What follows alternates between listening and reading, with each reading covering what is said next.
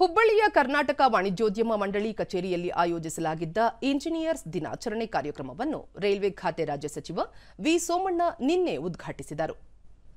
ಈ ವೇಳೆ ವಾಣಿಜ್ಯೋದ್ಯಮ ಮಂಡಳಿ ಅಧ್ಯಕ್ಷ ಎಸ್ಪಿ ಸಂಶಿಮಠ, ಧಾರವಾಡ ಐಐಟಿ ನಿರ್ದೇಶಕ ಡಾಕ್ಟರ್ ವೆಂಕಟಪ್ಪಯ್ಯ ದೇಸಾಯಿ ಸೇರಿದಂತೆ ಮತ್ತಿತರರು ಉಪಸ್ಥಿತರಿದ್ದರು.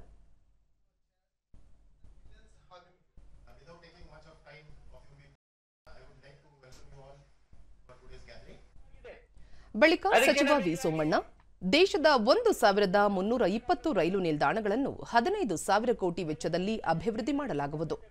ಇದಕ್ಕೆ ಕೇಂದ್ರ ಸರ್ಕಾರ ಏಳು ಸಾವಿರದ ಐನೂರ ಐವತ್ತು ಕೋಟಿ ರೂಪಾಯಿ ಅನುದಾನ ನೀಡುತ್ತಿದ್ದು ದ್ವಿಪಥ ವಿದ್ಯುದೀಕರಣ ಕಾರ್ಯ ಪ್ರಗತಿಯಲ್ಲಿದೆ.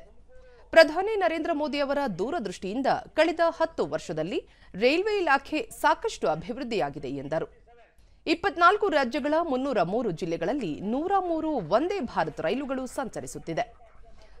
ತುಮಕೂರು, ಚಿತ್ರದುರ್ಗ, ದಾವಣಗೆರೆ ಹಾಗೂ ರಾಯಗಡ, ಪಾವಗಡ ಮಾರ್ಗದ ರೈಲು ಸಂಚಾರ ಶೀಘ್ರದಲ್ಲೇ ಪ್ರಾರಂಭವಾಗಲಿದೆ ಎಂದರು. ಪಾವಗಡ, ಮಧುಗಿರಿ ಊರುಕೇರಿ ಇನ್ನೂರ ಏಳು ಕಿಲೋಮೀಟರ್.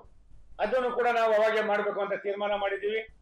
ನಾವು ನಲವತ್ತೈದು ಸಾವಿರ ಕೋಟಿ ರೂಪಾಯಿಗಳ ಹಳೆಯ ಕಾಲದ ಅನೇಕ ಯೋಜನೆಗಳನ್ನ ಕೈಗೆತ್ಕೊಂಡು ಮೋದಿಜಿಯವರ ದೂರದೃಷ್ಟಿಯ ಚಿಂತನೆ ಪ್ರಾಯಶಃ ಯಾವ ರೀತಿ ಇದೆ ಅನ್ನೋದಕ್ಕೆ ಯಾವ್ದು ಹಳೇದಿದೆ ಮತ್ತೊಂದಿದೆ ನನ್ಗೆ ಗೊತ್ತಿಲ್ಲ. ಆ ಕೆಲಸ ಮುಗಿಸಿ. ಭಾರತ ಸರ್ಕಾರ ರೈಲ್ವೆ ಇಲಾಖೆ ಅವರೇ ಸ್ವತಃ ಮಾಡ್ತಕ್ಕಂಥ ತೀರ್ಮಾನವನ್ನ ಕ್ರಾಂತಿಕಾರಿ ತೀರ್ಮಾನವನ್ನು ನಾವು ಮಾಡಿದ್ದೀವಿ.